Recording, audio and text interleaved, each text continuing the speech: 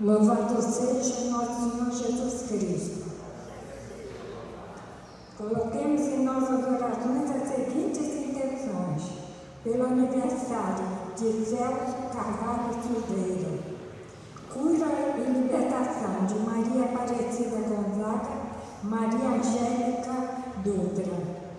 E pelos fiéis falecidos, Rosilene Felícia Nicásio, Sebastiana Nicásio, Manuel Nicásio, Diomar Moreira, Florinda Foque, Gonçalves de Mendonça, Sirlene, Família Moreira, Família Rodrigues de Castro, Tereza Teixeira Tavares e Cláudia Igreja Mendonça.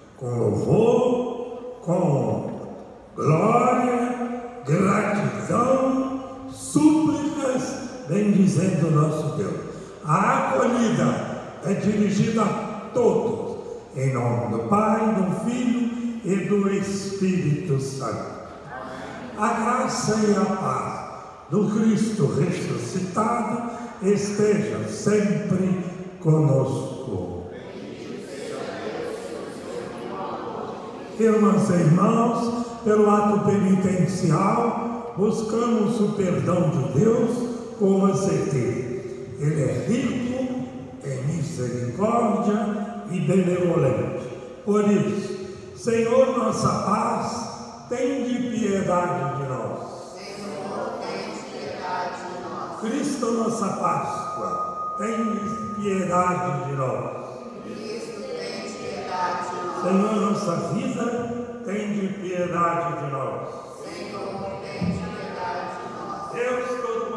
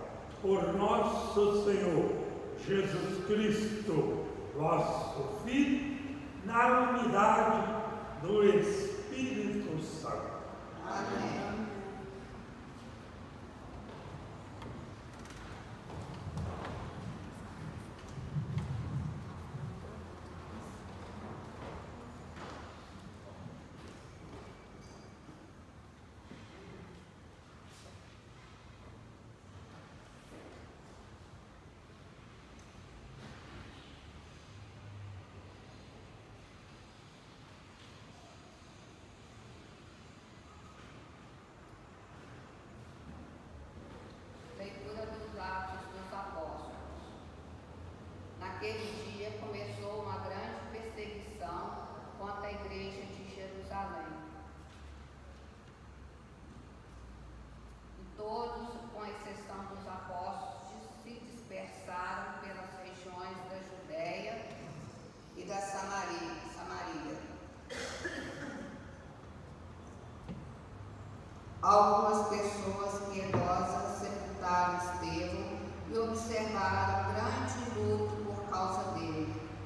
Saulo, porém, devastava a igreja, entrava nas casas e arrastava para todos os homens e mulheres para tirá-los na prisão. Entretanto, aqueles que se tinham dispersado iam por, por toda parte pregando a palavra. Filipe desceu a uma cidade da Samaria e anunciou-lhe o Cristo. As multidões seguiram com atenção as coisas que Filipe dizia, e todos, unânimes, o escutavam, pois vinham os milagres que ele fazia. De muitas pessoas saíram os espíritos maus, dando grandes gritos. Numerosos paralíticos e aleijados também foram curados. Em grande era grande a alegria. Palavra do Senhor.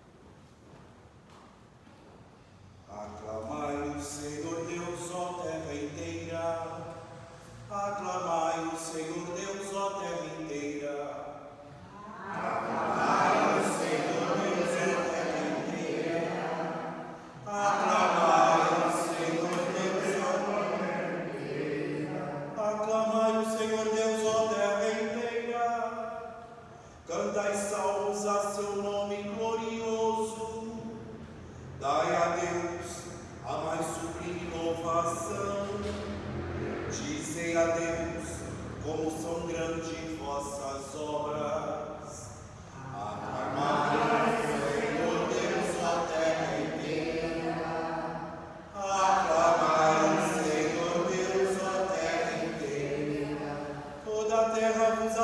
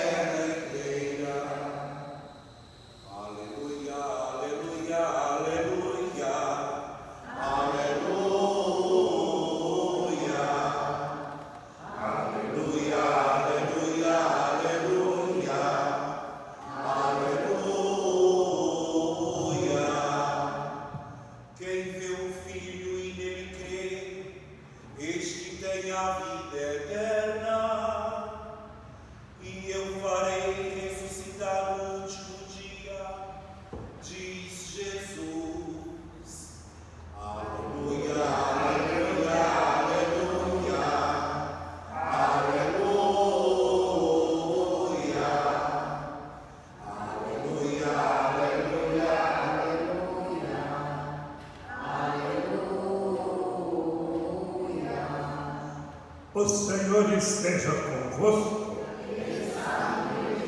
Deus anuncia um trecho do Evangelho de Jesus Cristo segundo João. Jesus disse à multidão: Eu sou o pão da vida. Quem vem a mim não terá mais fome, e quem crê em mim nunca mais terá sede. Eu, porém, vos disse que vós me vistes, mas não acreditais. Todos os que o Pai me confia virão a mim, e quando vierem, não os afastarei. Pois eu desci do céu não para fazer a minha vontade, mas a vontade daquele que me enviou. E esta é a vontade daquele que me enviou. Que eu não perca nenhum daqueles que ele me deu, mas ressuscite no último dia.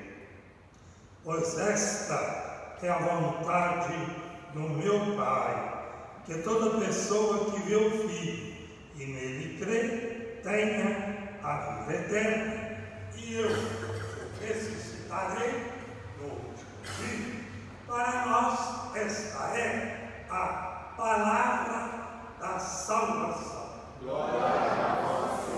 Irmãs e irmãos, no ofertório oferecemos a Deus o que temos e o que somos. As nossas intenções, o pão e o vinho, uma oferta de um povo que confia na misericórdia de Deus. Um coração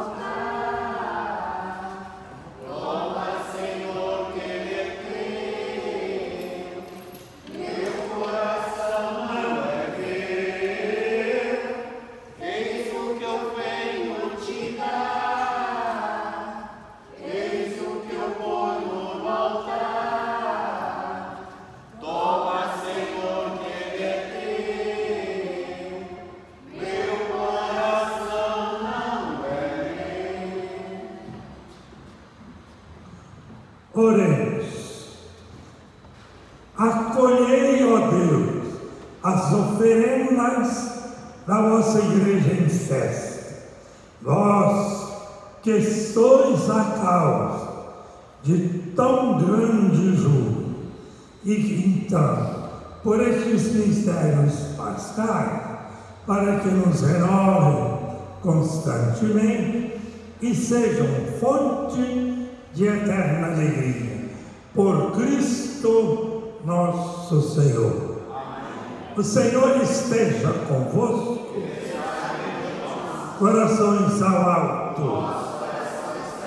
Demos graça ao Senhor nosso Deus. É justo e necessário. É nosso dever e salvação darmos graças sempre e em todo lugar, mas sobretudo neste tempo solene em que o Cristo nossa paz foi imolado. Ele continua a oferecer-se pela humanidade e junto de vós é nosso eterno intercessor. Imolado, já não morre, e morto, vive eternamente. Unidos à multidão dos anjos e dos santos, transbordando ainda de alegria pascal, nós vos aclamamos, dizendo a uma só voz: Santo.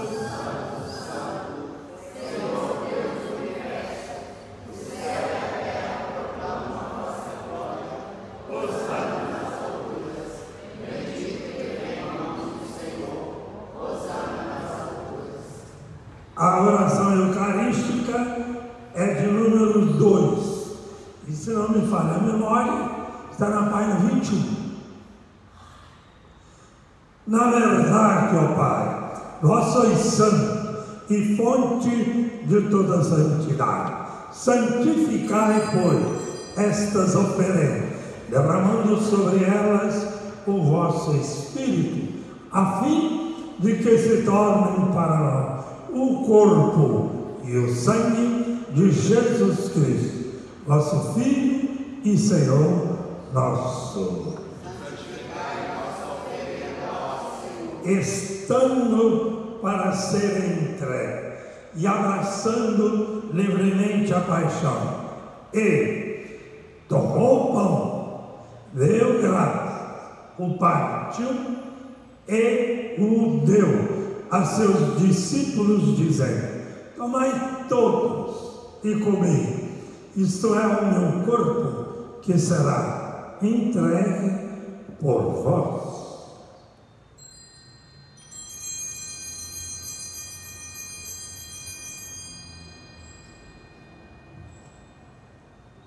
Do mesmo modo, ao fim do jantar, ele tomou o cálice em suas mãos, deu graças ao homem e o deu a seus discípulos, dizendo: Tomai todos e bebei. Este é o cálice do meu sangue, o sangue da nova e eterna aliança, que será derramado por vós e por todos para remissão dos pecados. Fazeis em memória de mim. Eis o mistério da nossa fé.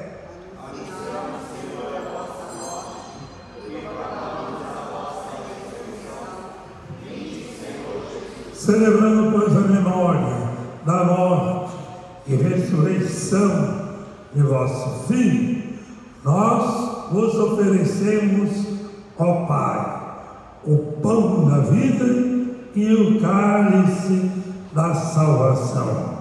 Colocamos as nossas intenções de ação de graças pelo aniversariante, cujo nome já foi proclamado com os que pedem a recuperação da saúde pela cura e libertação. E queremos ainda nos agradecer porque nos tornasses dignos de estar aqui na vossa presença e vos servir.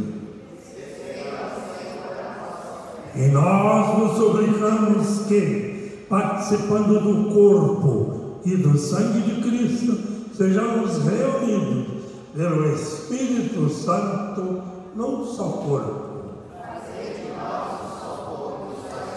Lembrai-vos, ó Pai, da vossa igreja, que se faz presente pelo mundo inteiro. Que ela cresça na caridade com o Papa Francisco, com o nosso Bispo Gil e todos os ministros do nosso povo.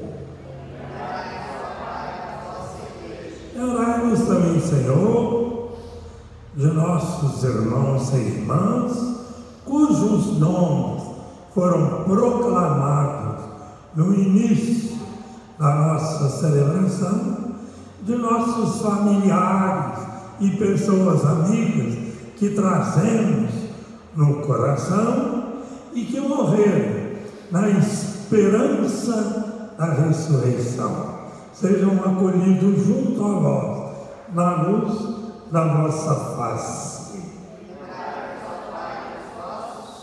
Enfim, nós vos pedimos, tende piedade de todos nós, dai-nos participar da vida eterna, com a Virgem Maria, Mãe de nosso Deus e Senhor Jesus Cristo, com São José, seu esposo, com os santos apóstolos e com todos os que neste mundo vos serviram, a fim de vos louvar e glorificarmos por Jesus Cristo, vosso Filho. Por Cristo, com Cristo e em Cristo. A vós, Deus Pai, Todo-Poderoso, na unidade do Espírito Santo. Toda honra e toda glória, agora e para sempre. Amém.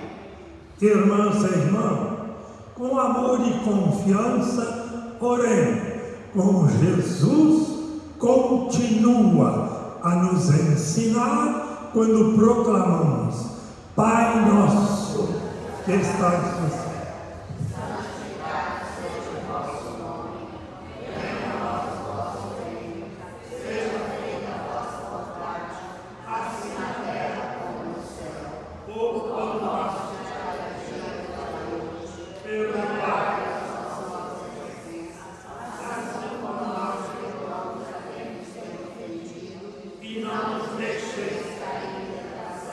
mas pois vosso é o reino, o poder e a glória para sempre. Amém.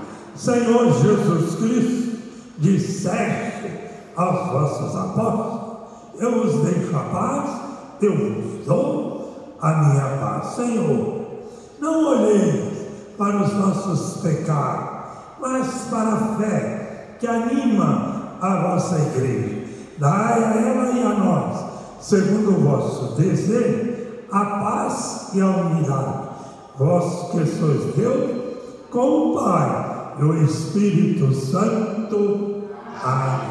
Que a paz do Senhor esteja sempre convosco. Cordeiro de Deus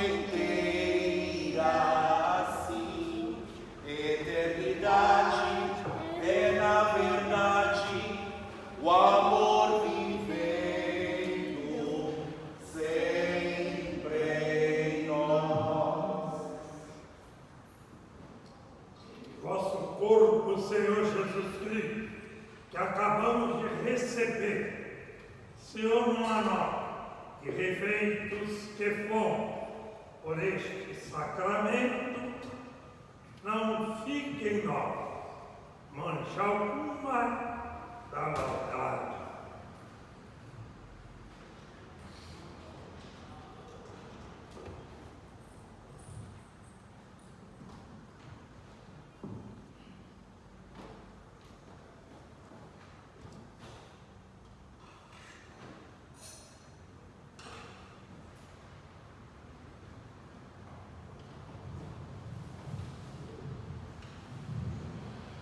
Irmãs e irmãos, sempre que eu oro, pode sentar, não vou falar um cadinho, não vai demorar muito não. Garanto a vocês que não passa de meia hora. Sempre que eu olho para a vida, eu vejo na vida uma dupla dimensão. A dimensão humana e a dimensão de filho de Deus, que todos nós somos, pelo batismo ou pelo seguir Jesus Cristo. Na dimensão humana, a gente passa por muitos problemas, muitas dificuldades, às vezes sofremos mais do que a gente julga merecer devido à ingratidão, muitas vezes das pessoas que nos servem. Mas a gente não desanima, continua a lutar. O que nos sustenta, o que nos alimenta é o pão de cada dia, que se apresenta sob várias formas. Primeiro, o pão da padaria. Segundo, o do supermercado. Terceiro, o que buscamos no açougue, junto com arroz e feijão, para sustentar o nosso corpo humano. Na dimensão, que muitos chamam de dimensão divina, o pão de que nós mais necessitamos é aquele que Jesus, como palavra viva, anuncia para todos nós no Evangelho que acabamos de ouvir. Eu sou o pão descido do céu. Que pão é? É aquele que nós recebemos da mesa da palavra ou da mesa do pão, partido e repartido. Que seja esta a nossa fé, a nossa coragem e, sobretudo, o nosso desejo, com a certeza de que Deus não nos abandona e muito menos nos deixa sozinhos nessa caminhada. Somente assim terá sentido a nossa fé, a esperança que nele depositamos e, sobretudo, o amor que Jesus deixou para nós e que nos une.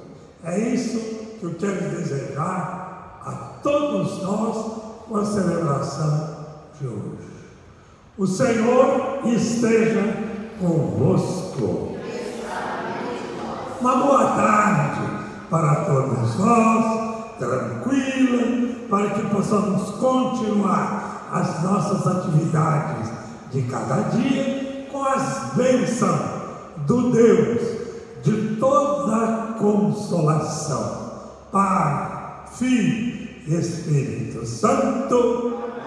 Se vocês estão querendo ir embora, eu também. Então, por isso mesmo, vamos em paz, que o Senhor nos acompanhe.